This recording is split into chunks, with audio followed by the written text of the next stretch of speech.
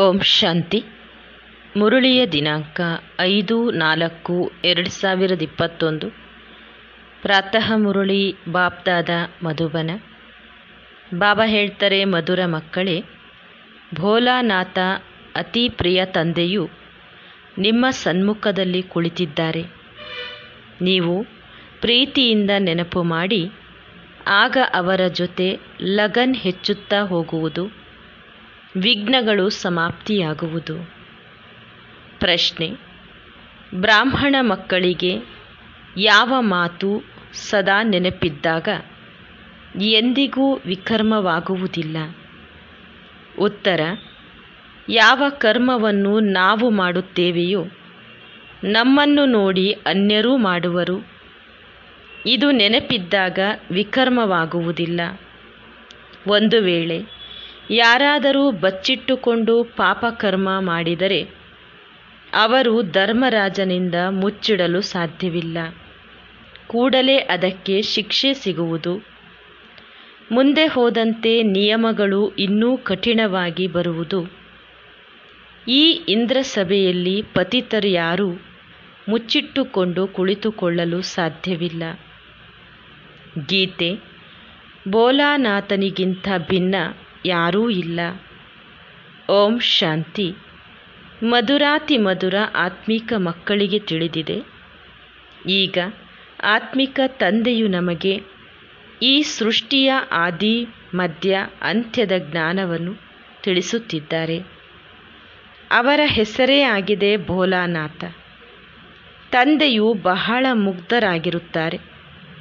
ಎಷ್ಟು ಕಷ್ಟವನ್ನು ಸಹನೆ ಮಾಡಿಯಾದರೂ ಮಕ್ಕಳಿಗೆ ಓದಿಸುತ್ತಾರೆ, ಪಾಲನೆ ಮಾಡುತ್ತಾರೆ. ಮತ್ತು ಅವರು ದೊಡ್ಡವರಾದಾಗ ಎಲ್ಲವನ್ನೂ ಅವರಿಗೆ ಕೊಟ್ಟು ತಾನು ವಾನಪ್ರಸ್ಥವನ್ನು ಸ್ವೀಕರಿಸುತ್ತಾರೆ. ನಾನು ನನ್ನ ಕರ್ತವ್ಯವನ್ನು ಪೂರ್ಣ ಮಾಡಿದೆನು, ಇನ್ನು ಮಕ್ಕಳಿಗೆ ಗೊತ್ತು ಎಂದು ತಿಳಿದುಕೊಳ್ಳುತ್ತಾರೆ. ಅಂದ ಮೇಲೆ, ತಂದೆಯೂ ಮುಗ್ಧನಾದರಲ್ಲವೇ? ಇದನ್ನೂ ಸಹ ತಂದೆಯು ನಿಮಗೆ ತಿಳಿಸುತ್ತಾರೆ. ಏಕೆಂದರೆ ಅವರು ಭೋಲಾನಾಥ ಆಗಿದ್ದಾರೆ. ಹೇಗೆ ಲೌಕಿಕ ತಂದೆಗೂ ಸಹ ಹೇಳುತ್ತಾರೆ, ಅವರು ಎಷ್ಟು ಮುಕ್ತರಾಗಿರುತ್ತಾರೆ. ಅವರಂತೂ ಹದ್ದಿನ ಬೋಲಾ ಆದರು, ಆದರೆ ಇವರು ಬೇಹದ್ದಿನ ಭೋಲಾನಾಥನಾಗಿದ್ದಾರೆ. ಪರಮಧಾಮದಿಂದ ಹಳೆಯ ಪ್ರಪಂಚ, ಹಳೆಯ ಶರೀರದಲ್ಲಿ ಬರುತ್ತಾರೆ. ಆದ್ದರಿಂದ ಮನುಷ್ಯರು ತಿಳಿದುಕೊಳ್ಳುತ್ತಾರೆ, ಹಳೆಯ ಪತಿತ ಶರೀರದಲ್ಲಿ ಹೇಗೆ ಬರಬಹುದು? ತಿಳಿದುಕೊಳ್ಳದೇ ಇರುವ ಕಾರಣ ಪಾವನ ಶರೀರದ ಕೃಷ್ಣನ ಹೆಸರನ್ನು ಹಾಕಿಬಿಟ್ಟಿದ್ದಾರೆ. ಈ ಗೀತೆ, ವೇದ, ಶಾಸ್ತ್ರ ಇತ್ಯಾದಿಗಳು ಕಲ್ಪದ ನಂತರವೂ ಆಗುತ್ತದೆ. ನೋಡಿ, ಶಿವತಂದೆಯು ಎಷ್ಟು ಮುಗ್ಧನಾಗಿದ್ದಾರೆ. ಅವರು ಇಲ್ಲಿ ಬಂದಾಗಲೂ ಸಹ ಹೇಗೆ ತಂದೆಯು ಇಲ್ಲಿಯೇ ಕುಳಿತಿದ್ದಾರೆಂಬ ಅನುಭವವಾಗುತ್ತದೆ. ಈ ಸಾಕಾರ ತಂದೆಯೂ ಸಹ ಬೋಲ ಅಲ್ಲವೇ? ಯಾವುದೇ ಶಲ್ಯವಾಗಲಿ, ತಿಲಕವಾಗಲಿ ಇಲ್ಲ. ಬಹಳ ಸಾಧಾರಣ ತಂದೆಯಾಗಿದ್ದಾರೆ. ಮಕ್ಕಳಿಗೆ ತಿಳಿದಿದೆ ಇಷ್ಟೆಲ್ಲ ಜ್ಞಾನವನ್ನು ಶಿವತಂದೆಯೇ ಕೊಡುತ್ತಾರೆ. ಇದನ್ನು ತಿಳಿಸಲು ಮತ್ಯಾರಿಗೂ ಶಕ್ತಿ ಇಲ್ಲ. ದಿನ ಪ್ರತಿದಿನ ಮಕ್ಕಳ ಲಗನ್ ಹೆಚ್ಚುತ್ತಾ ಹೋಗುತ್ತದೆ. ತಂದೆಯನ್ನು ಎಷ್ಟು ನೆನಪು ಮಾಡುತ್ತೀರೋ ಅಷ್ಟು ಪ್ರೀತಿ ಹೆಚ್ಚುವುದು. ಅತಿ ಪ್ರಿಯ ತಂದೆಯಲ್ಲವೇ. ಈಗಷ್ಟೇ ಅಲ್ಲ, ಭಕ್ತಿ ಮಾರ್ಗದಲ್ಲಿಯೂ ನೀವು ಅತಿ ಪ್ರಿಯ ತಂದೆ ಎಂದು ತಿಳಿದುಕೊಳ್ಳುತ್ತಿದ್ದೀರಿ. ಬಾಬಾ, ತಾವು ಬಂದರೆ ಮತ್ತೆಲ್ಲದರಿಂದ ಪ್ರೀತಿಯನ್ನು ತೆಗೆದು ತಾವೊಬ್ಬರೊಂದಿಗೆ ಪ್ರೀತಿಯನ್ನಿಡುವೆವು ಎಂದು ಹೇಳುತ್ತಾ ಬಂದಿರಿ. ಈಗಲೂ ಸಹ ನೀವು ತಿಳಿದುಕೊಂಡಿದ್ದೀರಿ. ಆದರೆ ಮಾಯೆಯು ತಂದೆಯ ಜೊತೆ ಅಷ್ಟೊಂದು ಪ್ರೀತಿಯನ್ನಿಡಲು ಬಿಡುವುದಿಲ್ಲ. ಇವರು ನನ್ನನ್ನು ಬಿಟ್ಟು ತಂದೆಯನ್ನು ನೆನಪು ಮಾಡುವುದು ಮಾಯೆಗೆ ಇಷ್ಟವಿಲ್ಲ. ದೇಹಾಭಿಮಾನಿಯಾಗಿ ನನ್ನನ್ನು ಪ್ರೀತಿ ಮಾಡಲಿ ಎಂದು ಅದು ಬಯಸುತ್ತದೆ. ಆದ್ದರಿಂದಲೇ ಎಷ್ಟೊಂದು ವಿಘ್ನಗಳನ್ನು ಹಾಕುತ್ತದೆ. ನೀವು ವಿಘ್ನಗಳನ್ನು ಪಾರು ಮಾಡಬೇಕು. ಮಕ್ಕಳು ಸ್ವಲ್ಪವಾದರೂ ಪರಿಶ್ರಮ ಪಡಬೇಕಲ್ಲವೇ? ಪುರುಷಾರ್ಥದಿಂದಲೇ ನೀವು ತಮ್ಮ ಪ್ರಾರಬ್ಧವನ್ನು ಪಡೆಯುತ್ತೀರಿ. ಮಕ್ಕಳಿಗೆ ಗೊತ್ತಿದೆ, ಶ್ರೇಷ್ಠ ಪದವಿಯನ್ನು ಪಡೆಯಲು ಎಷ್ಟೊಂದು ಪುರುಷಾರ್ಥ ಮಾಡಬೇಕು. ಮೊದಲನೆಯದಾಗಿ ವಿಕಾರಗಳ ದಾನ ಮಾಡಬೇಕು. ಎರಡನೆಯದಾಗಿ ತಂದೆಯಿಂದ ಯಾವ ಅವಿನಾಶಿ ಜ್ಞಾನ ರತ್ನಗಳ ಧನ ಸಿಗುತ್ತದೆಯೋ ಅದನ್ನು ದಾನ ಮಾಡಬೇಕು. ಆ ಅವಿನಾಶಿ ಧನದಿಂದಲೂ ನೀವು ಬಹಳ ಧನವಂತರಾಗುತ್ತೀರಿ. ಜ್ಞಾನವು ಆದಾಯದ ಮೂಲವಾಗಿದೆ. ಅದು ಶಾಸ್ತ್ರಗಳ ಜ್ಞಾನ. ಇದು ಆಧ್ಯಾತ್ಮಿಕ ಜ್ಞಾನವಾಗಿದೆ. ಶಾಸ್ತ್ರ ಇತ್ಯಾದಿಗಳನ್ನು ಓದಿ ಬಹಳ ಸಂಪಾದನೆ ಮಾಡುತ್ತಾರೆ.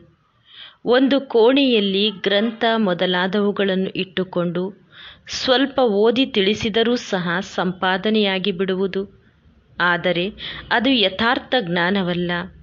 ಯಥಾರ್ಥ ಜ್ಞಾನವನ್ನು ಒಬ್ಬ ತಂದೆಯೇ ಕೊಡುತ್ತಾರೆ.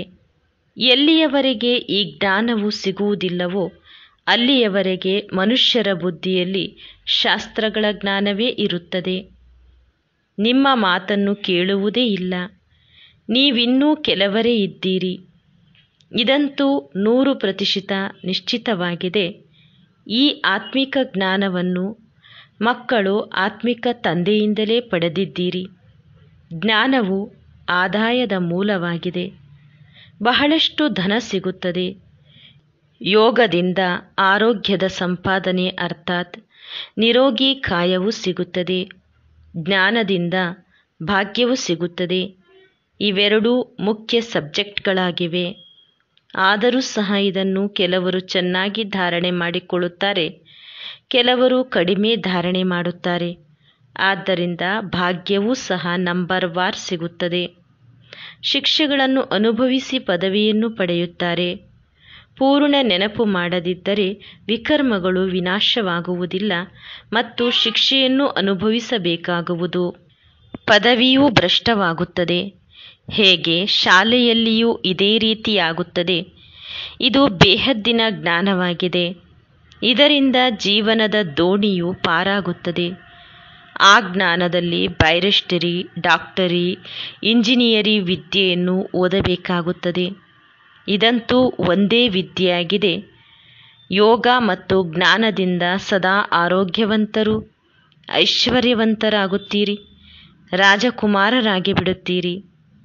ಸ್ವರ್ಗದಲ್ಲಿ ಯಾವುದೇ ವೈದ್ಯರು, ವಕೀಲರು ಇರುವುದಿಲ್ಲ. ಅಲ್ಲಿ ಧರ್ಮರಾಜನ ಅವಶ್ಯಕತೆಯೇ ಇರುವುದಿಲ್ಲ. ಗರ್ಭ ಜೈಲಿನ ಶಿಕ್ಷೆಯಾಗಲಿ, ಧರ್ಮರಾಜನ ಶಿಕ್ಷೆಯಾಗಲಿ ಇರುವುದಿಲ್ಲ. ಗರ್ಭ ಮಹಲಿನಲ್ಲಿ ಬಹಳ ಸುಖಿಯಾಗಿರುತ್ತಾರೆ. ಇಲ್ಲಾದರೆ ಗರ್ಭ ಜೈಲಿನಲ್ಲಿ ಶಿಕ್ಷೆಯನ್ನು ಅನುಭವಿಸಬೇಕಾಗುತ್ತದೆ. ಇವೆಲ್ಲ ಮಾತುಗಳನ್ನು ನೀವು ಮಕ್ಕಳೇ ತಿಳಿದುಕೊಳ್ಳುತ್ತೀರಿ. ಬಾಕಿ ಶಾಸ್ತ್ರಗಳಲ್ಲಿ, ಸಂಸ್ಕೃತದಲ್ಲಿ, ಶ್ಲೋಕ ಇತ್ಯಾದಿಗಳಲ್ಲಿ ಮನುಷ್ಯರೇ ಬರೆದಿದ್ದಾರೆ. ಸತ್ಯಯುಗದಲ್ಲಿ ಯಾವ ಭಾಷೆ ಇರುವುದು ಎಂದು ಕೇಳುತ್ತಾರೆ. ಇದಕ್ಕೆ ತಂದೆಯು ತಿಳಿಸುತ್ತಾರೆ, ದೇವತೆಗಳ ಭಾಷೆ ಯಾವುದೋ ಅದೇ ನಡೆಯುವುದು. ಅಲ್ಲಿನ ಭಾಷೆಯು ಮತ್ತೆಲ್ಲಿಯೂ ಇರಲು ಸಾಧ್ಯವಿಲ್ಲ. ಅಲ್ಲಿ ಸಂಸ್ಕೃತ ಭಾಷೆ ಇರುತ್ತದೆ ಎಂದಲ್ಲ. ದೇವತೆಗಳದು ಮತ್ತು ಮನುಷ್ಯರದು ಒಂದೇ ಭಾಷೆಯಾಗಲು ಸಾಧ್ಯವಿಲ್ಲ. ಅಲ್ಲಿನ ಭಾಷೆಯು ಯಾವುದೋ ಅದೇ ನಡೆಯುತ್ತದೆ. ಇದನ್ನು ಕೇಳುವ ಅವಶ್ಯಕತೆ ಇಲ್ಲ ಮೊದಲು ತಂದೆಯಿಂದ ಆಸ್ತಿಯನ್ನು ಪಡೆದುಕೊಳ್ಳಿ. ಕಲ್ಪದ ಹಿಂದೆ ಏನಾಗಿತ್ತೋ ಅದೇ ಆಗುವುದು. ಮೊದಲು ಆಸ್ತಿಯನ್ನು ಪಡೆದುಕೊಳ್ಳಿ, ಮತ್ಯಾವುದೇ ಮಾತನ್ನು ಕೇಳಲೇಬೇಡಿ. ಎಂಬತ್ನಾಲ್ಕು ಜನ್ಮಗಳಿಲ್ಲವೆಂದರೆ ಎಂಬತ್ತು ಜನ್ಮಗಳಿರಲಿ ಅಥವಾ ಎಂಬತ್ತೆರಡಾಗಿರಲಿ. ಈ ಮಾತುಗಳನ್ನು ಬಿಟ್ಟುಬಿಡಿ. ಕೇವಲ ತಂದೆಯನ್ನು ನೆನಪು ಮಾಡಿ, ಸ್ವರ್ಗದ ರಾಜ್ಯಭಾಗ್ಯವು ಖಂಡಿತ ಸಿಗುತ್ತದೆಯಲ್ಲವೇ? ಅನೇಕ ಬಾರಿ ನೀವು ಸ್ವರ್ಗದ ರಾಜ್ಯಭಾಗ್ಯವನ್ನು ತೆಗೆದುಕೊಂಡಿದ್ದೀರಿ. ಮೇಲಿನಿಂದ ಇಳಿಯಲೇಬೇಕಾಗಿದೆ. ನೀವೀಗ ಮಾಸ್ಟರ್ ಜ್ಞಾನಸಾಗರ, ಮಾಸ್ಟರ್ ಸುಖದ ಸಾಗರರಾಗಿದ್ದೀರಿ. ನೀವು ಪುರುಷಾರ್ಥಿಗಳಾಗಿದ್ದೀರಿ. ತಂದೆಯಂತೂ ಸಂಪೂರ್ಣರಾಗಿದ್ದಾರೆ. ತಂದೆಯಲ್ಲಿ ಯಾವ ಜ್ಞಾನವಿದೆಯೋ ಅದು ಮಕ್ಕಳಲ್ಲಿದೆ. ಆದರೆ ನಿಮಗೆ ಜ್ಞಾನಸಾಗರನೆಂದು ಹೇಳಲಾಗುವುದಿಲ್ಲ. ಸಾಗರವು ಒಂದೇ ಇರುತ್ತದೆ. ಕೇವಲ ಅನೇಕ ಹೆಸರುಗಳನ್ನು ಇಟ್ಟಿದ್ದಾರೆ. ಬಾಕಿ ಜ್ಞಾನಸಾಗರನಿಂದ ಹೊರಟಿರುವ ನದಿಗಳಾಗಿದ್ದೀರಿ. ನೀವು ಮಾನಸರೋವರ ನದಿಗಳಾಗಿದ್ದೀರಿ. ನದಿಗಳ ಹೆಸರುಗಳೂ ಇವೆ. ಬ್ರಹ್ಮಪುತ್ರ ನದಿ ಬಹಳ ದೊಡ್ಡದಾಗಿದೆ. ಕಲ್ಕತ್ತಾದಲ್ಲಿ ನದಿ ಮತ್ತು ಸಾಗರದ ಸಂಗಮವಿದೆ. ಅದಕ್ಕೆ ಡೈಮಂಡ್ ಹಾರ್ಬರ್ ಎಂದು ಹೆಸರಿದೆ. ನೀವು ಬ್ರಹ್ಮಾಮುಖ ವಂಶಾವಳಿ ವಜ್ರ ಸಮಾನ ಆಗುತ್ತೀರಿ ಬಹಳ ದೊಡ್ಡ ಮೇಳವಾಗುತ್ತದೆ. ತಂದೆಯು ಈ ಬ್ರಹ್ಮಾರವರ ತನುವಿನಲ್ಲಿ ಬಂದು ಮಕ್ಕಳೊಂದಿಗೆ ಮಿಲನ ಮಾಡುತ್ತಾರೆ. ಇವೆಲ್ಲವೂ ತಿಳಿದುಕೊಳ್ಳುವ ಮಾತುಗಳಾಗಿವೆ. ಆದರೂ ಮತ್ತೆ ತಂದೆಯು ತಿಳಿಸುತ್ತಾರೆ, ಮಕ್ಕಳೇ ಮನ್ಮನಾಭವ, ತಂದೆಯನ್ನು ನೆನಪು ಮಾಡುತ್ತಾ ಇರಿ. ಅವರು ಪ್ರಿಯಾತಿ ಪ್ರಿಯ ಎಲ್ಲ ಸಂಬಂಧಗಳ ಸ್ಯಾಕ್ರಿನ್ ಆಗಿದ್ದರು. ಆ ಸಂಬಂಧಿಗಳೆಲ್ಲರೂ ವಿಕಾರಿಯಾಗಿದ್ದಾರೆ. ಅವರಿಂದ ದುಃಖವೇ ಸಿಗುತ್ತದೆ. ತಂದೆಯು ನಿಮಗೆ ಎಲ್ಲದರ ಪ್ರತಿಫಲವನ್ನು ಕೊಡುತ್ತಾರೆ. ಎಲ್ಲ ಸಂಬಂಧಗಳ ಪ್ರೀತಿಯನ್ನು ಕೊಡುತ್ತಾರೆ. ಎಷ್ಟೊಂದು ಸುಖ ಕೊಡುತ್ತಾರೆ. ಇಷ್ಟು ಸುಖವನ್ನು ಮತ್ಯಾರೂ ಕೊಡಲು ಸಾಧ್ಯವಿಲ್ಲ. ಯಾರಾದರೂ ಕೊಟ್ಟರೂ ಸಹ ಅಲ್ಪ ಕಾಲಕ್ಕಾಗಿ ಇದಕ್ಕೆ ಸನ್ಯಾಸಿಗಳು ಕಾಗವಿಷ್ಟ ಸಮಾನ ಸುಖವೆಂದು ಹೇಳುತ್ತಾರೆ. ದುಃಖಧಾಮದಲ್ಲಂತೂ ಅವಶ್ಯವಾಗಿ ದುಃಖವೇ ಇರುವುದು. ನೀವು ಮಕ್ಕಳು ತಿಳಿದುಕೊಂಡಿದ್ದೀರಿ. ನಾವು ಅನೇಕ ಬಾರಿ ಪಾತ್ರವನ್ನು ಅಭಿನಯಿಸಿದ್ದೇವೆ. ಆದರೆ ನಾವು ಶ್ರೇಷ್ಠ ಪದವಿಯನ್ನು ಹೇಗೆ ಪಡೆಯಬೇಕೆಂಬ ಚಿಂತೆ ಇರಬೇಕು. ನಾವು ಅಲ್ಲಿ ಅನುತೀರ್ಣರಾಗಬಾರದು. ಅದಕ್ಕಾಗಿ ಬಹಳ ಪುರುಷಾರ್ಥ ಮಾಡಬೇಕು. ಒಳ್ಳೆಯ ಅಂಕಗಳಿಂದ ತೇರ್ಗಡೆಯಾದರೆ ಶ್ರೇಷ್ಠ ಪದವಿಯನ್ನು ಪಡೆಯುವರು ಮತ್ತು ಅವರಿಗೆ ಖುಷಿಯೂ ಇರುವುದು. ಎಲ್ಲರೂ ಒಂದೇ ಸಮಾನರಾಗಲು ಸಾಧ್ಯವಿಲ್ಲ. ಎಷ್ಟು ಯೋಗವಿದೆಯೋ ಅಷ್ಟೇ ಆಗುವರು. ಅನೇಕರು ಇಂತಹ ಗೋಪಿಕಿಯರಿದ್ದಾರೆ. ಎಂದೂ ಮಿಲನ ಮಾಡಿಯೂ ಇಲ್ಲ. ತಂದೆಯೊಂದಿಗೆ ಮಿಲನ ಮಾಡಲು ಚಡಪಡಿಸುತ್ತಾರೆ. ಸಾಧು ಸನ್ಯಾಸಿಗಳ ಬಳಿ ಚಡಪಡಿಸುವ ಮಾತಿರುವುದಿಲ್ಲ. ಇಲ್ಲಂತೂ ಶಿವ ತಂದೆಯೊಂದಿಗೆ ಮಿಲನ ಮಾಡುವುದಕ್ಕಾಗಿ ಬರುತ್ತೀರಿ. ಆಶ್ಚರ್ಯದ ಮಾತಲ್ಲವೇ? ಬಾಬಾ, ನಾವು ನಿಮ್ಮ ಮಕ್ಕಳಾಗಿದ್ದೇವೆ ಎಂದು ಮನೆಯಲ್ಲಿ ಕುಳಿತು ನೆನಪು ಮಾಡುತ್ತಾರೆ. ಆತ್ಮಕ್ಕೆ ಸ್ಮೃತಿ ಬರುತ್ತದೆ. ಮಕ್ಕಳು ತಿಳಿದುಕೊಂಡಿದ್ದೀರಿ, ನಾವು ಶಿವ ತಂದೆಯಿಂದ ಕಲ್ಪಕಲ್ಪವು ಆಸ್ತಿಯನ್ನು ತೆಗೆದುಕೊಳ್ಳುತ್ತೇವೆ. ಆ ತಂದೆಯೇ ಕಲ್ಪದ ನಂತರ ಪುನಃ ಬಂದಿದ್ದಾರೆ. ಅವರನ್ನು ನೋಡದೇ ಇರಲು ಸಾಧ್ಯವಿಲ್ಲ. ತಂದೆಯು ಬಂದಿದ್ದಾರೆಂದು ಆತ್ಮಕ್ಕೆ ತಿಳಿದಿದೆ. ಶಿವ ಜಯಂತಿಯನ್ನು ಆಚರಿಸುತ್ತಾರೆ, ಆದರೆ ಏನನ್ನೂ ತಿಳಿದುಕೊಂಡಿಲ್ಲ. ಶಿವ ತಂದೆಯು ಬಂದು ಓದಿಸುತ್ತಾರೆ, ಇದನ್ನೂ ತಿಳಿದುಕೊಳ್ಳುವುದಿಲ್ಲ. ಕೇವಲ ನಾಮ ಮಾತ್ರಕ್ಕೆ ಆಚರಿಸುತ್ತಾರೆ, ರಜಾ ದಿನವನ್ನೂ ಘೋಷಿಸುವುದಿಲ್ಲ. ಯಾರು ಆಸ್ತಿಯನ್ನು ಕೊಟ್ಟರೂ ಅವರಿಗೆ ಮಹತ್ವವನ್ನೇ ನೀಡುವುದಿಲ್ಲ.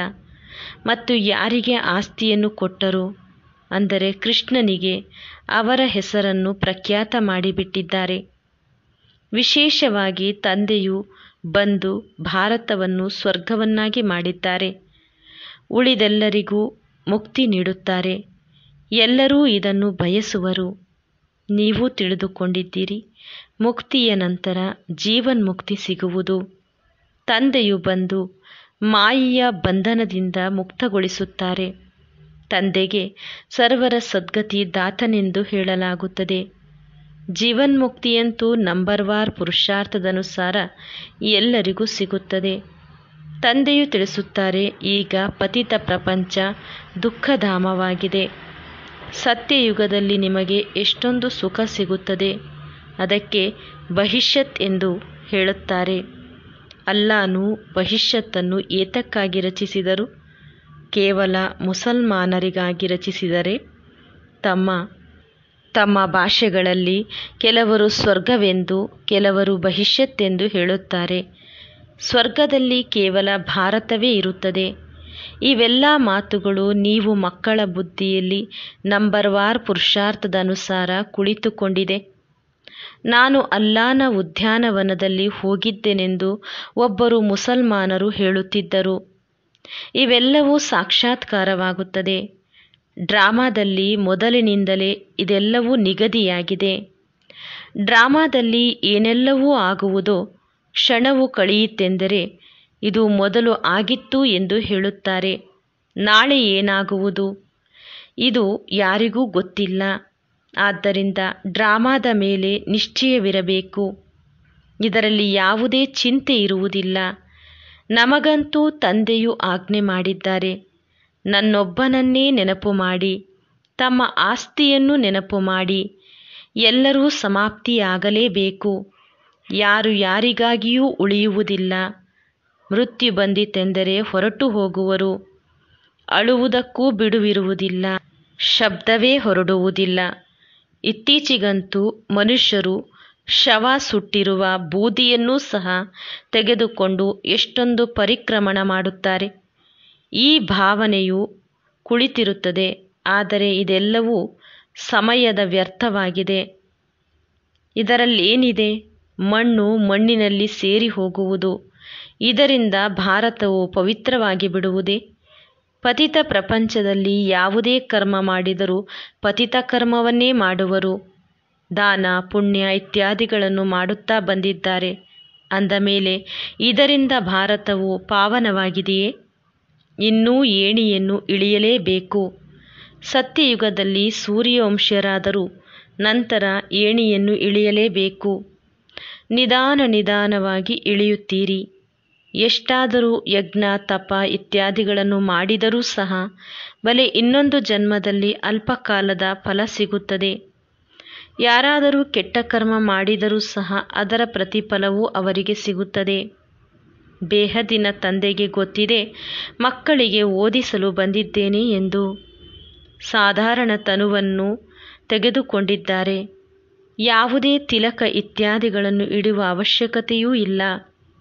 ಭಕ್ತರಂತೂ ಬಹಳ ದೊಡ್ಡ ದೊಡ್ಡದಾಗಿ ತಿಲಕವನ್ನಿಟ್ಟುಕೊಳ್ಳುತ್ತಾರೆ. ಆದರೆ ಕೆಲವರು ಅದರಲ್ಲಿ ಬಹಳ ಮೋಸ ಮಾಡುತ್ತಾರೆ.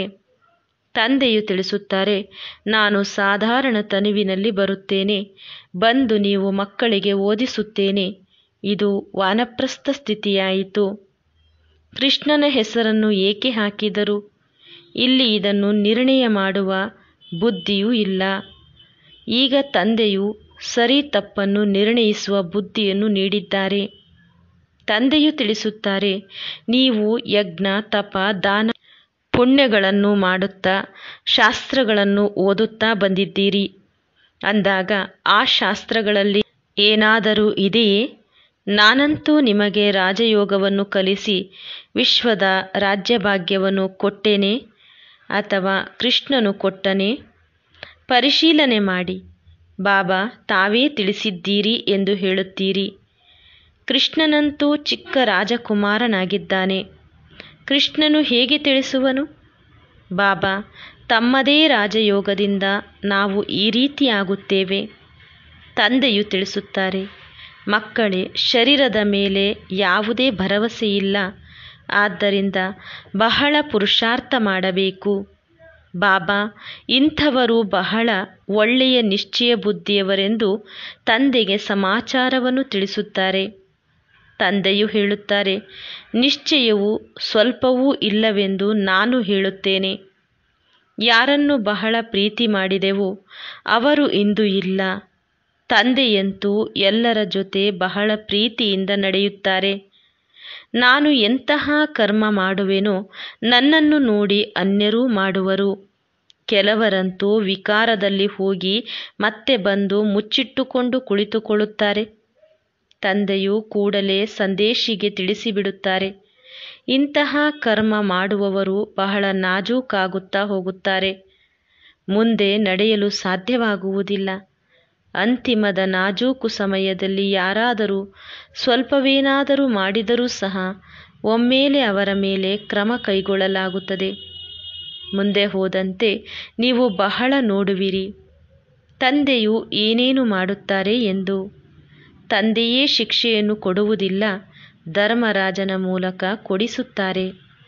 ಜ್ಞಾನದಲ್ಲಿ ಪ್ರೇರಣೆಯ ಮಾತಿಲ್ಲ. ಭಗವಂತನಿಗೆ, ಹೇ ಪತಿತ ಪಾವನ, ಬಂದು ನಮ್ಮನ್ನು ಪಾವನ ಮಾಡಿ ಎಂದು ಎಲ್ಲ ಮನುಷ್ಯರು ಕರೆಯುತ್ತಾರೆ. ಎಲ್ಲ ಆತ್ಮರು ಕರ್ಮೇಂದ್ರಿಯಗಳ ಮೂಲಕ ಕೂಗುತ್ತಾರೆ. ತಂದೆಯೇ ಜ್ಞಾನ ಸಾಗರನಾಗಿದ್ದಾರೆ ಅವರ ಬಳಿ ಬಹಳ ವಿಭಿನ್ನ ಪ್ರಕಾರದ ಸಾಮಾನುಗಳಿವೆ. ಇಂತಹ ಸಾಮಗ್ರಿ ಮತ್ಯಾರ ಬಳಿಯೂ ಇಲ್ಲ. ಕೃಷ್ಣನ ಮಹಿಮೆಯು ಸಂಪೂರ್ಣ ಬೇರೆಯಾಗಿದೆ. ತಂದೆಯ ಶಿಕ್ಷಣದಿಂದ ಇವರು ಲಕ್ಷ್ಮೀನಾರಾಯಣ ಹೇಗಾದರೂ ಮಾಡುವವರಂತೂ ತಂದೆಯೇ ಆಗಿದ್ದಾರೆ. ತಂದೆಯು ಬಂದು ಕರ್ಮ, ಅಕರ್ಮ, ವಿಕರ್ಮದ ಗತಿಯನ್ನು ತಿಳಿಸುತ್ತಾರೆ. ಈಗ ನಿಮ್ಮ ಮೂರನೇ ನೇತ್ರವು ತೆರೆದಿದೆ. ನೀವು ತಿಳಿದುಕೊಂಡಿದ್ದೀರಿ, ಇದು ಐದು ಸಾವಿರ ವರ್ಷದ ಮಾತಾಗಿದೆ. ಈಗ ಮನೆಗೆ ಹೋಗಬೇಕು, ಪಾತ್ರವನ್ನು ಅಭಿನಯಿಸಬೇಕು. ಇದು ಸ್ವದರ್ಶನ ಚಕ್ರವಲ್ಲವೇ? ನಿಮ್ಮ ಹೆಸರೇ ಆಗಿದೆ ಸ್ವದರ್ಶನ ಚಕ್ರಧಾರಿಗಳು, ಬ್ರಾಹ್ಮಣ ಕುಲಭೂಷಣರು, ಪ್ರಜಾಪಿತ ಬ್ರಹ್ಮಕುಮಾರ ಕುಮಾರಿಯರು ಲಕ್ಷಾಂತರ ಅಂದಾಜಿನಲ್ಲಿ ಸ್ವದರ್ಶನ ಚಕ್ರಧಾರಿಗಳಾಗುತ್ತಾರೆ. ನೀವು ಎಷ್ಟೊಂದು ಓದುತ್ತೀರಿ? ಒಳ್ಳೆಯದು, ಮಧುರಾತಿ ಮಧುರ ಅಗಲಿ ಹೋಗಿ ಮರಳಿ ಸಿಕ್ಕಿರುವ ಮಕ್ಕಳ ಪ್ರತಿ ಮಾತಾಪಿತಾ, ಬಾಪ್ ದಾದಾರವರ ನೆನಪು, ಪ್ರೀತಿ ಹಾಗೂ ಸುಪ್ರಭಾತ. ಆತ್ಮಿಕ ಮಕ್ಕಳಿಗೆ ಆತ್ಮಿಕ ತಂದೆಯ ನಮಸ್ತೆ. ಆತ್ಮಿಕ ತಂದೆಗೆ ಆತ್ಮಿಕ ಮಕ್ಕಳು ಮಾಡುವ ಸವಿ ನೆನಪು, ಪ್ರೀತಿ ಹಾಗೂ ಸುಪ್ರಭಾತ. ನಮಸ್ತೆ ನಮಸ್ತೆ ನಮಸ್ತೆ. ಧಾರಣೆಗಾಗಿ ಮುಖ್ಯ ಸಾರ. ಮೊದಲನೆಯದು, ಈ ಸಮಯವು ಬಹಳ ನಾಜೂಕಾಗಿದೆ. ಆದ್ದರಿಂದ ಯಾವುದೇ ಉಲ್ಟಾ ಕರ್ಮ ಮಾಡಬಾರದು. ಕರ್ಮ ಅಕರ್ಮ ವಿಕರ್ಮದ ಗತಿಯನ್ನು ಗಮನದಲ್ಲಿಟ್ಟುಕೊಂಡು ಸದಾ ಶ್ರೇಷ್ಠ ಕರ್ಮವನ್ನೇ ಮಾಡಬೇಕು.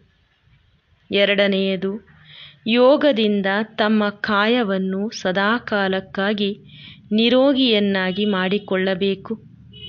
ಒಬ್ಬ ಪ್ರಿಯಾತಿ ಪ್ರಿಯ ತಂದೆಯನ್ನೇ ನೆನಪು ಮಾಡಬೇಕು. ತಂದೆಯಿಂದ ಯಾವ ಅವಿನಾಶಿ ಜ್ಞಾನ ಧನ ಸಿಗುತ್ತದೆಯೋ ಅದನ್ನು ದಾನ ಮಾಡಬೇಕು. ವರದಾನ.